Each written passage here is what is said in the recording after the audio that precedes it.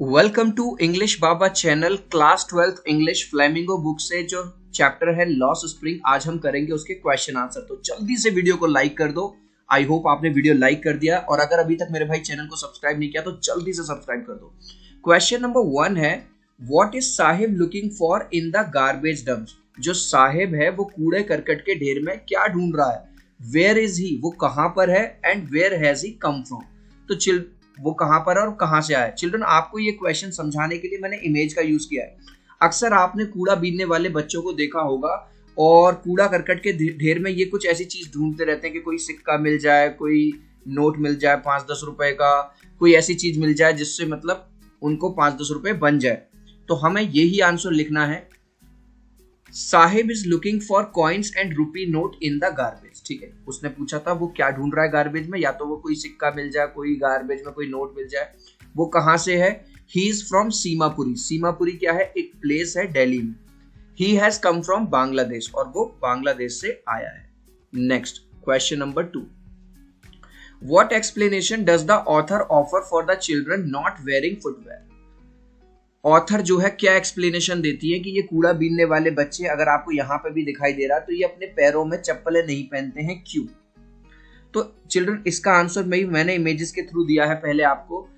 Actually इनके यहाँ ये ट्रेडिशन है कि अगर हम चप्पल ना पहने तो लोगों की हमें सिंपथी मिलेगी, लोग हमें पाँच दस रुपए दे सकते हैं। ऐसा नहीं है कि इन पे पैसों की कमी है या पचास सौ रुपए की चप्पल नहीं ले सकते। बस ताकि ये इनका ट्रेडिशन चलता रहे। According to author it is a tradition to stay bare foot देख रहे हो? ये इनका मतलब ट्रेडिशन है बेयर फुट नंगे पैर रहना। It is not lack of money ऐसा नहीं है कि इन पे पैसों की कमी है। People who see these children bare foot feel pity जो भी लोग इनको नंगे पैर देखते हैं, उन्हें पिटी का मतलब है दया आ जाती है इन पे। And often give them some money और हम लोग इन्हें कुछ पैसे दे देते हैं, दो रुपए दे दिए, पाँच रुपए, चल यार, रख ले, चल, कोई बात नहीं है। और समथिंग टू इट कुछ खाने के लिए दे देते हैं। ठीक है? Question number three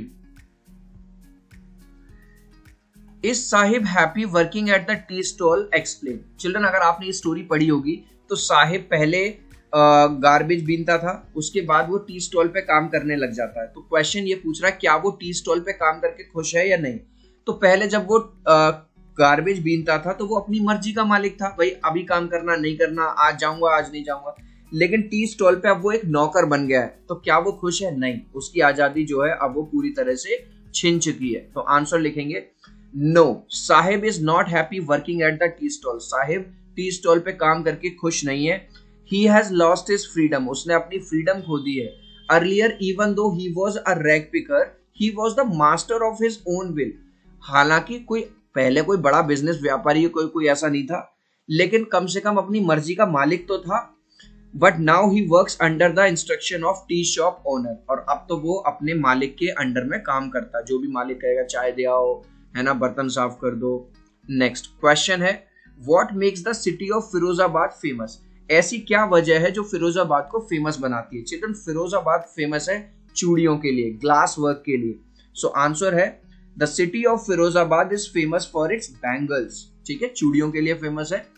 It is the centre of India glass blowing industry glass blowing industry मतलब जहाँ पे कांच का काम होता है कांच के सारे प्रोडक्ट्स तैयार किए जाते हैं। नेक्स्ट क्वेश्चन देखिए। Mention the hazards of working in the glass bangles industry जो लोग ग्लास बैंगल्स इंडस्ट्री में काम करते हैं, बेचारे वर्कर उनको हजार्ड्स का मतलब है, उनके लिए क्या क्या खतरे होते हैं। ठीक है डेंजर्स क्या है? सबसे पहले तो चिल्ड्रन मैं बता दूँ, ये लोग गर्म भट्टियों में काम करते हैं। ठीक है? अब आप ये सोचो, गर्मियों में यार हमें ऑलरेडी कितनी गर्मी लगती है 40 डिग्री सेल्सियस टेम्परेचर चला जाता है। चला जाता है कि नहीं? हम लोग एसी चलाते हैं। और ये बेचारे गर्म भट्टियों के पास काम करते हैं। दूसरा, आप यहाँ देखो, मैंने इमेजेस के थ्रू दिखाया हाथ में कांच वगैरह लग सकता है, पूरे हाथ वगैरह खराब हो जाते हैं। तीसरा ग्लास की जो डस्ट होती है छोटे छोटे पार्टिकल्स वो आँखों में चले जाते हैं और इनकी आँखें खराब हो जाती हैं। तो यही बात हमें लिखनी है। Number one workers have to work near glass furnace furnace का मतलब होता है चिल्ड्रन भट्टी, ये जो दिखाई दे रही गरम गरम भट्टियाँ, ठीक है? The workers lose their eyesight और इनकी आँखें आई साइट चली जाती है ड्यू टू हाई टेम्परेचर क्योंकि इन्हें बहुत टाइम हो जाता है हाई टेम्परेचर पे काम करते करते। Dust of glass polishing also cause severe damage to their eyes ये जो डस्ट है, देख रहे हो? ये जो कांच की जो डस्ट है इसकी इसकी जो पॉलिश होती है डस्ट ऑफ़ ग्लास पॉलिशिंग ये भी इनकी आँखों को बहुत ज़्यादा नुकसान पहुंचाती है। तो ये सारे खतरे होते हैं ग्लास इंडस्ट्री में। How is Mukesh attitude to his situation different from one of his family अगर आपने चिल्ड्रन ये स्टोरी पढ़ी है तो आपको पता होगा, ये कहानी है मुकेश की, ठीक है? दो कहानियाँ, एक साहिब और एक मुकेश। मुकेश और उसकी फैमिली बैंगल्स इंडस्ट्री में काम करती है, लेकिन मुकेश अपने परिवार के उलट वो एक गैराज मैकेनिक बनना चाहता है मोटर मैकेनिक मोटर मैकेनिक कौन होते हैं? जो कार बाइक वगैरह को ठीक करते हैं। तो इसलिए उसका एटीट्यूड अलग है। इसी बात को हम लिख देंगे।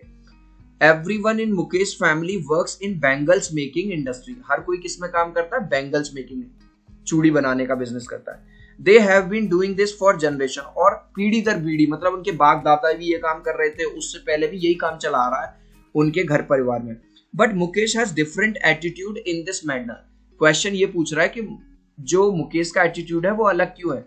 क्योंकि मुकेश का एटीट्यूड अलग इसलिए है instead of working in glass industry मतलब कांच इंडस्ट्री में काम करने के बजाय इंस्टेड का मतलब होता है बजाय he wants to become a motor mechanic क्योंकि वो एक मोटर मैकेनिक बनना चाहता है, इसलिए जो उसका एटीट्यूड है, वो अपने परिवार के लोगों से अलग है। अब हम करेंगे understanding the text what could be some of the reason for the migration of people from villages to city क्या ऐसे रीजन हैं जो लोग गाँव से शहरों की तरफ़ माइग्रेट करते हैं? तो देखो, पूरा आंसर मैंने क्वेश्चन में से निकाला है। Some of the reason some of the reason for the migration of people from villages to cities are क्या क्या है रीजन बेटर लाइवलीहुड अब चिल्ड्रन हर कोई गाँव में आपने ज़्यादातर देखा होगा फार्मर है फार्मर है, हर कोई खेती बाड़ी कर रहा है और ज़्यादा जॉब है नहीं।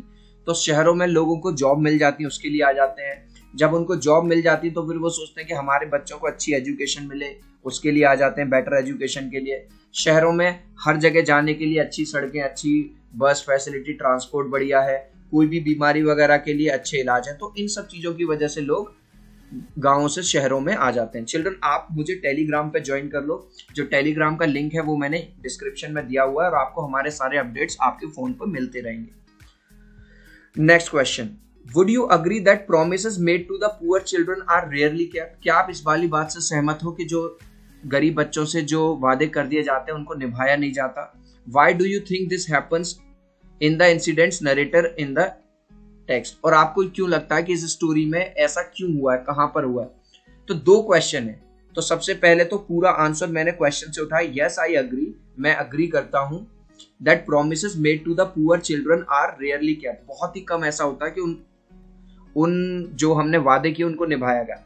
It happens because these promise are not taken seriously and usually such promise are made just to make the children happy इसलिए होता है क्योंकि इस तरह के प्रोमिस को कोई सीरियसली तो लेता नहीं है और बस बच्चे को उस टाइम पे खुश करने के लिए कह देते अरे, तुम चिंता मत करो बेटा, अब से तुम्हें ये नहीं करना पड़ेगा, अब तुम चिंता मत करो है ना? तो इस तरह के वादे कर देते हैं। अब इसमें एक और क्वेश्चन है कि ऐसा स्टोरी में क्या हुआ है?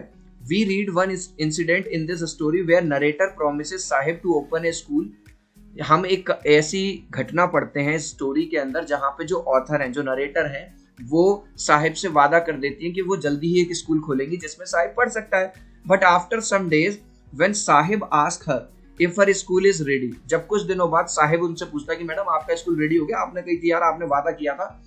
She becomes conscious of her mistake तभी उसे अपनी गलती का एहसास होता है। Her hollow promise leaves her embarrassed और कहीं ना कहीं उसे शर्मिंदगी होती है कि यार, मैंने ऐसी हँसी हँसी में मज़ाक मज़ाक में बच्चे से प्रॉमिस कर दिया था और बच्चा उस बात को दिल पे ले गया। Next what forces conspire to keep workers in bangle industry of Firozabad in poverty children इस क्वेश्चन में ये पूछ रहा है कि जो बेचारे गरीब वर्कर्स हैं, वो क्या क्या है ऐसा फिरोजाबाद इंडस्ट्री में कि वो गरीबी में ही अपना जीवन बिता रहे हैं? चिल्ड्रन आपने एक लाइन सुनी होगी, गरीब और गरीब होता जा रहा, अमीर और अमीर होता जा रहा। उसका रीजन हमें बताना है यहाँ पे। देयर आर मैनी फोर्सेज देख रहे हो जो मैंने लाइन रेड में लिखी है, मैंने पूरी कॉपी से देयर आर देयर आर लिख के many forces conspired to keep the ऐसी कई ताकतें हैं जो इन लोगों को गरीबी में ही जीने के लिए मजबूर कर देती हैं। वो ताकतें क्या हैं? These include the money lenders money lenders कौन होते हैं? जो पैसा उधार देते हैं हाई इंटरेस्ट पे। मिडिल मैन बीच में जो ब्रोकर वगैरह होते हैं, पुलिस वाले होते हैं पॉलिटिशियंस होते हैं। अब होता क्या है कि भाई कोई चीज़ बनी, बनाई तो बेचारे इन्होंने, है ना? इन्होंने मेहनत करके बनाई। फिर बीच में कोई मिडिल मैन है, उसने अपना प्रॉफिट खाया पॉलिटिशियन ने अपना प्रॉफिट खाया मनी लेंडर ने अपना प्रॉफिट खाया तो इन लोगों को जो बिल्कुल बेसिक से काम कर रहे हैं, इनको कुछ नहीं मिलता और ये गरीब के गरीब रह जाते हैं।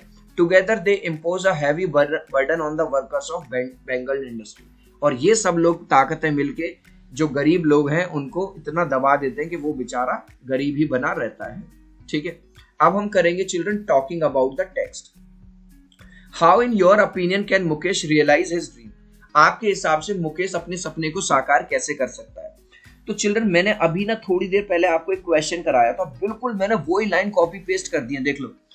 Everyone in Mukesh family work in bangle में बेंगल मेकिंग इंडस्ट्री हर कोई बेंगल मेकिंग इंडस्ट्री में काम करता है। They have been doing this for generation वो जनरेशन से यही वाला काम कर रहे हैं। पर मुकेश का एटीट्यूड अलग है। वो ग्लास इंडस्ट्री में काम करने के बजाय, ठीक है? तो हमने वही वाली लाइन पहले तो वो कॉपी पेस्ट कर दी। अब ये पूछ रहा है कि वो अपना सपना कैसे पूरा कर सकता है? He can realise his dream by joining a garage and learn the job of repairing cars अब भाई, अगर वो अपना सपना उसे पूरा करना है तो उसे गराज ज्वाइन करनी पड़ेगी। वहाँ पे काम सीखना पड़ेगा कि कारों को कैसे ठीक किया जाता है, उनको चलाया कैसे जाता है। लेकिन देयर आर मैनी चैलेंजेस बहुत सारे चैलेंजेस है, बहुत सारी प्रॉब्लम है। सबसे पहली दिक्कत है पैसा नहीं है उन लोगों के पास। He will have to earn some money himself पहले उसे कुछ पैसा खुद से कमाना होगा। The garage is very long way from his home उसका घर यहाँ है और गराज बहुत दूर है। तो यहाँ से यहाँ तक पहुँचने के लिए भी तो किराया भाड़ा लगेगा। He will have to cover twice every day anyhow और उसे दो बार, एक बार जाना और एक बार आना। तो दो बार जाना पड़ेगा। चाहे वो पैदल जाए, ठीक है, कैसे भी जाए। लेकिन अगर उसे अपना सपना साकार करना है तो पहले तो उसे कुछ पैसे कमा के दिखाने होंगे, तब वो अपने घर वालों को राज़ी करेगा कि भैया मैं ये वाला काम करना चाहता हूँ। इस काम में पेशेंस लगेगा हार्डवर्क लगेगा और उसकी जो डिटर्मिनेशन है will help him to realise his dream और इस तरह से वो अपना सपना पूरा कर सकता है। नेक्स्ट क्वेश्चन है mention the hazards of working in the glass industry bangle children, ये क्वेश्चन मैंने आपको ऑलरेडी ऊपर करा दिया है तो वहीं से आप कॉपी पेस्ट कर सकते हो, ठीक है? क्या क्या दिक्कतें आती हैं क्या क्या खतरे हैं? लास्ट क्वेश्चन करेंगे why should child labour be eliminated and how जो चाइल्ड लेबर है, उसको खत्म क्यों कर देना चाहिए और कैसे? सबसे पहले child labour should be eliminated because it does not let them live their child भाई, एक बच्चा यार जो खेलने के लिए बना है, जिसका बचपन बीतना चाहिए पढ़ाई करते वक्त, वो बेचारा एक चाय की स्टॉल पे काम कर रहा है, कूड़ा बीन रहा है, क्या ये अच्छी बात है? नहीं। The age when they are supposed to read, play, enjoy goes in working for a little money. ठीक है? जो जो एज उनकी बीतनी चाहिए पढ़ने में, खेलने में एंजॉय करने में, वो थोड़ा सा पैसा चिल्ड्रन लिटिल के बाद यहाँ पे मनी लग लेना, ठीक है? Child labour can be eliminated only through the serious efforts on the part of government agencies child labour को अगर हटाना है तो गवर्नमेंट को कुछ और ज़्यादा सीरियस स्टेप्स लेने होंगे। एनजीओ को काम करना होगा कोऑपरेटिव सोसाइटीज को काम करना होगा पॉलिटिक लीडर्स को कुछ सीरियस एफर्ट्स करने होंगे। Mere passing of law will not help ये नहीं है खाली भैया लॉ पास कर दिया कि हाँ भैया कोई काम नहीं करा, इससे कुछ नहीं होगा। Laws should be enacted faithfully laws मतलब पूरी नियम के साथ पालन होना चाहिए। अगर कोई उसका उल्लंघन करता है तो उसके खिलाफ तुरंत कार्रवाई होनी चाहिए। The children thrown out of the work should be rehabilitated and given proper food cloth education and pocket money जो भी बच्चे इस तरह हैं जिनको चाइल्ड लेबर में लगाया जा रहा है, उनको प्रॉपर एजुकेशन दे गवर्नमेंट कपड़े दे, है ना? Pocket money they. Their feelings thoughts and emotion should be respected और कहीं ना कहीं हमें उनका रेस्पेक्ट करना चाहिए कि कैसे भी ये बच्चे डेवलप करें और कल को इंडिया का नाम रोशन करें। लास्ट क्वेश्चन का आंसर मैं देखूँगा। कितने बच्चे मुझे राइट आंसर दे सकते हैं? हु वॉज़ साहिब इसका आंसर आप मुझे दोगे कॉमेंट सेक्शन में। साहिब एक शॉपकीपर था, एक सर्वेंट था, या वो रैग पिकर कूड़ा बीनने वाला था, या ऑल तो आप अपना आंसर दे सकते हो ए बी सी या डी आई होप मेरी ये छोटी सी एक्सप्लेनेशन आपको बहुत अच्छी लगी होगी. प्लीज़ वीडियो को लाइक कर देना चैनल को सब्सक्राइब कर देना. मिलते हैं अगले वीडियो में. बाय